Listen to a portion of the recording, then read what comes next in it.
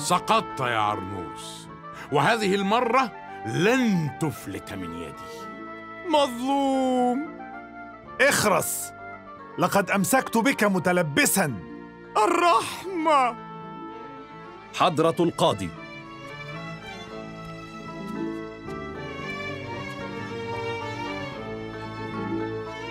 بعد الاطلاع على أوراق القضية وسؤال الشهود حكمنا على المتهم عرنوس خليل عرنوس بالبراءة ويخلى سبيله في الحال.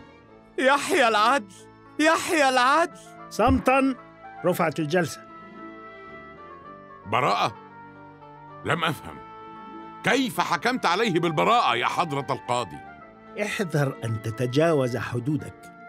القاضي لا يراجع في أحكامه يا صاحب الشرطة. أه، لم أقصد والله لكني مندهش. لقد أمسك سعيد بالمتهم متلبسا بالسرقة وقد اعترف أمامكم دون ضغط منا أو تهديد اعترف بماذا؟ بجريمته أتعتبر سرقة رغيف من الخبز جريمة؟ لقد كان الرجل جائعا يتضور من الجوع هل معنى هذا أن يترك كل جائع يسرق طعامه من الأسواق؟ بالطبع لا لقد عفوت عن عرنوس لأنه ضعيف العقل لم يدرك ما يفعل. آه فهمت يا حضرة القاضي. إذا أردنا أن نحاكم المذنب في هذه القضية فلنحاكم أنفسنا لأننا قصرنا في أداء الزكاة وإطعام المساكين. كيف حالك يا زوجي الحبيب؟ أراك تبدو مهموما. إني بخير يا سلمى. أخبرني أرجوك ما الذي يشغل بالك؟ نفس المشكلة. يعيش بيننا جاسوس ينقل كل أخبارنا للأعداء ونحن لا نقدر على شيء. ألم تصل تحريات صاحب الشرطة إلى نتيجة؟ هذه القضية أكبر من أن يحلها صاحب الشرطة وحده. أرجوك أن تهدأ حتى تستطيع أن تفكر وتصل إلى حل. هناك من يقف على الباب.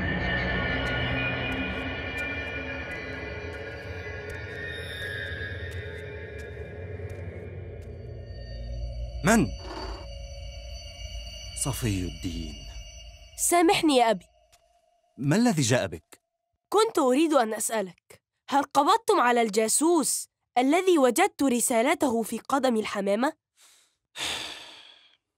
إن شاء الله سنقبض عليه قريبا أرجوك أن تسرع يا أبي فأختي صفاء تشعر بالخوف ولكني أطمئنها دائما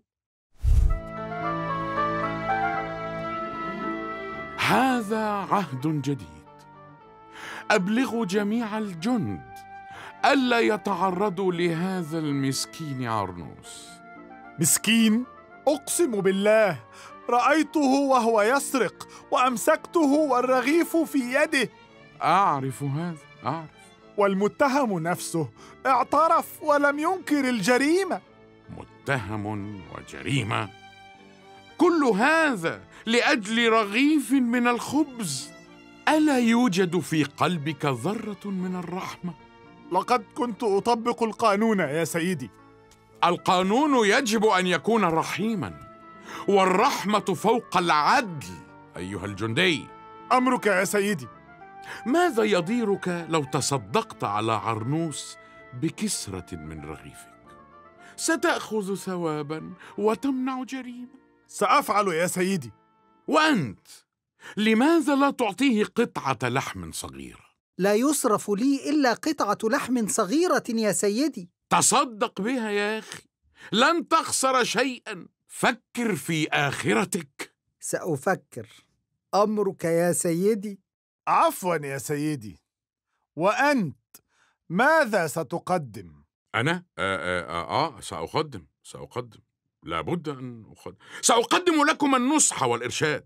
هيا هيا لقد أضعتم وقتي. انصراف! الأطفال خائفون يا أبي وبصراحة نحن أيضا. أعرف يا سلمى هذه القضية تشغل تفكيرنا جميعا. جدي ألم تعرفوا الجاسوس بعد؟ نحن ندرس ونبحث. نبحث عن الحقيقة يا بني. لقد طال الوقت كثيرا يا جدي متى تظهر هذه الحقيقة؟ هناك من يعيش عمره كله بحثا عنها يا ولدي هل يعقل هذا؟ نعم كانت حياة سلمان الفارسي رحلة طويلة وشاقة هدفها البحث عن الحقيقة من سلمان الفارسي هذا؟ وما قصته؟ هو رجل شجاع من أرض فارس لا يهاب الخطر. وحتى تفهموا قصته لا بد أن تتحلوا بصفاته.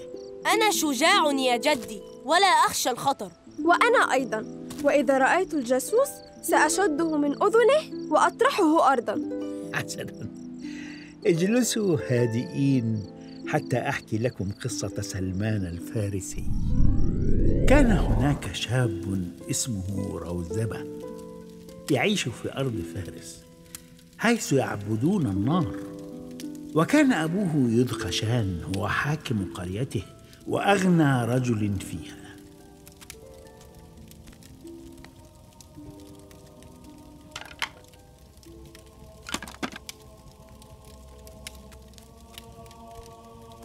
روزبة ألا ترتاح قليلا يا ولدي؟ أخشى إذا غفلت يا أبي أن تنطفئ النار المقدسة. يمكننا أن نعهد بمهمة رعاية الإلهة إلى واحد من الخدم. أحب أن أخدم النار المقدسة بنفسي يا أبي. ما أعظم إيمانك يا روزبة؟ إنني لا أتخيل حياتي دون العبادة ولكني أفكر في أمر ما. تقصد الزواج يا فتى؟ بل هو أمر أهم. وما هو؟ تكلم. كيف تكون النار المقدسة؟ غير قادرة على حماية نفسها من قطرات الماء. لا تفكر بهذه الطريقة وإلا أوصلك العقل إلى الكفر. حقا؟ العقل يؤدي إلى الكفر. سأمضي الآن يا روزبة لأتفقد القصر الجديد الذي أبنيه على شاطئ البحر. تصحبك السلامة يا أبي. ولكن علي أن أتابع العمل في الضيعة فاليوم جاني محصول الفاكهة. ولكن طريق البحر عكس طريق الضيعة. كيف تؤدي العملين معا؟ اسمع يا ولدي لقد حان الوقت لكي تشرف معي على أملاكنا وضيعتنا الكبيرة. أمرك يا أبي. العمال والفلاحون يعرفون ما عليهم من أشغال. فقط أريدك أن تتابع أعمالهم. سأحاول قدر جهدي ولكني لست معتادا على مثل هذه الأعمال. اسمع يا روزبة لقد كنت أحبسك في القصر حرصا عليك ولكنك الآن كبرت ويجب أن تظهر القوة والبأس أمام العمال والخدم. حسنا ولكني هكذا سأغيب عن رعاية النار المقدسة. النار يمكنها أن تنتظر حتى نرى مصالحنا المهمة.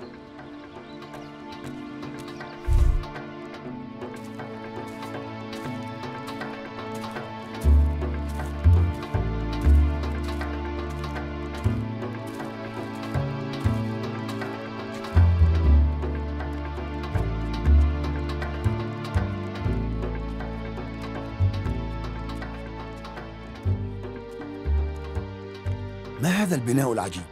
إنه مكان العبادة مكان العبادة ولكن أين النار؟ هل هي بالداخل؟ لا يوجد لدينا نار ولا حطب كيف؟ نحن لا نعبد النار وإنما نعبد الله الذي خلق النار الله ومن يكون؟ الله الذي خلق الأرض والسماء وبعث الأنبياء والرسل لهداية أهل الأرض هذا كلام أسمعه لأول مرة ألا تعيش معنا في هذه الدنيا؟ هذه أول مرة أخرج فيها من القصر وحدي. تعيش في قصر؟ دعك من المكان الذي أعيش فيه وحدثني أكثر عن إلهك. يمكنك أن تدخل دار العبادة معنا وتحضر صلاتنا. استمع لما نقول فإذا أعجبك الأمر انضممت إلينا.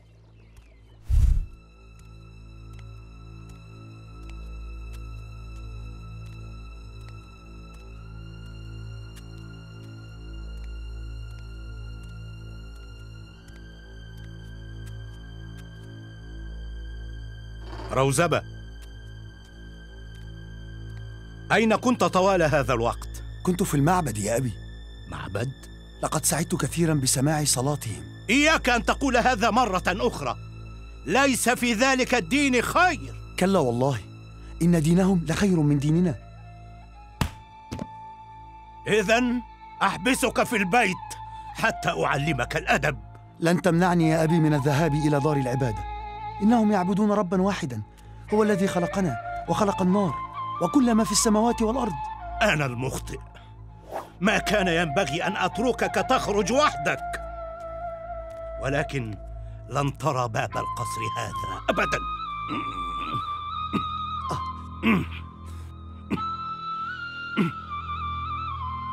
أرجوك يا أبي أرجوك. القيد يؤلم. سأحل القيد عن يديك. حتى تستطيع أن تأكل وتشرب. وإياك أن تحاول الهرب. أهرب إلى أين؟ إن أهل أصبهان جميعهم يخافون منك ولن يساعدني مخلوق إذا خالفت أمرك.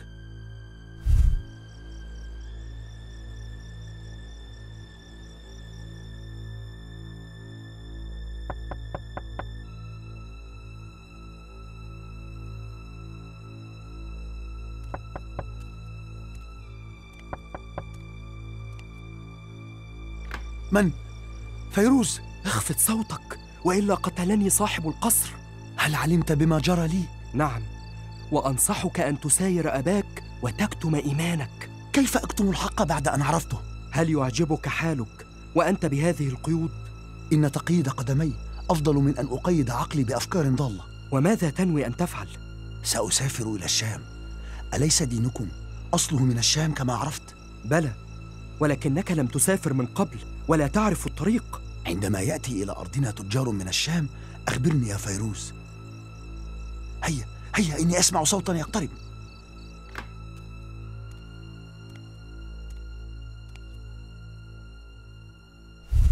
خذ. هذا طعام جيد. لا يستطيع خدم المعبد أن ياكلوا مثله ابدا. سيأكلون أطيب الطعام في الحياة الاخرى الحياة الأخرى. اضحكتني ما سمعت برجل مات وعاد إلى حياة أخرى. هيا اجلس وكل. شكرا. لا أشعر بالجوع. أطعني أيها الأحمق. أمرك يا أبي. هذا المال كله لك في النهاية.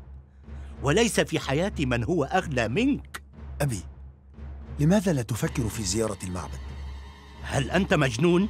تريدني أن أترك دين آبائي وأجدادي الذي جعلني رئيسا على قومي؟ اذا أنت تعبد المال والنفوذ وليس النار كما تدعي. لا فرق عندي.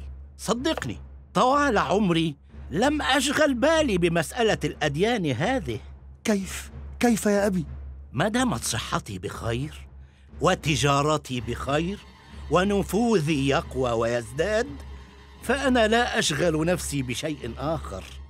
تناول طعامك يا ولدي.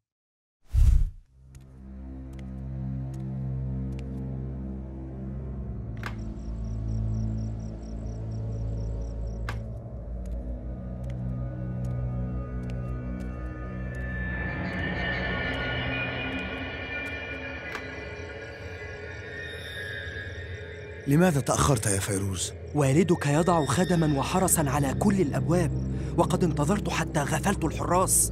ها؟ هل وصل تجار الشام نعم ولكني أظن أن الأمر صعب. فيروز إنها فرصتي الوحيدة لأنجو من عبودية النار وأخلص نفسي. سيرحلون فجر الغد. لم يبقى على الفجر إلا القليل. كيف ستسافر بهذه القيود؟ سأتصرف. أحضرت لك ملابس عربية حتى تتخفى فيها ولا يعرفك أحد. هذا أفضل.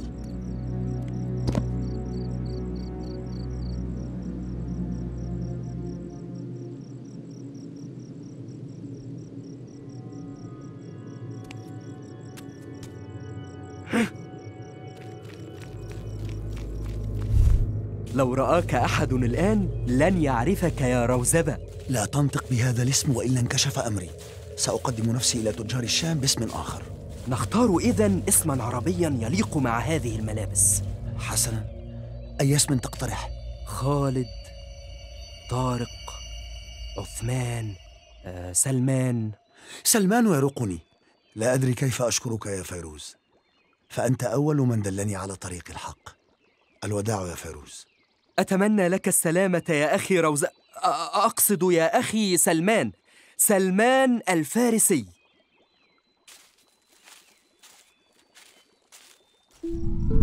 هل نجح في الهرب يا جدي؟ لو أمسكه أبوه سيعذبه كثيرا أليس كذلك يا جدي؟ أنتما تريدان إكمال القصة أليس كذلك يا صفاء؟ القصة مشوقة يا جدي ونريدك أن تتمها ولكنها قصة طويلة وكثيرة التفاصيل والمواقف وما حكيته لكم ليس أكثر من بداية إذا تؤجل القصة إلى جلسة الغد. رفعت الجلسة. صفاء يا لك من شقية إنها تأخذ حقها مني فأنا الذي بدأت بتقليدها. أحبك كثيرا يا جد. وأنا أحبكم في الله أكثر. تصبحون على خير إن شاء الله.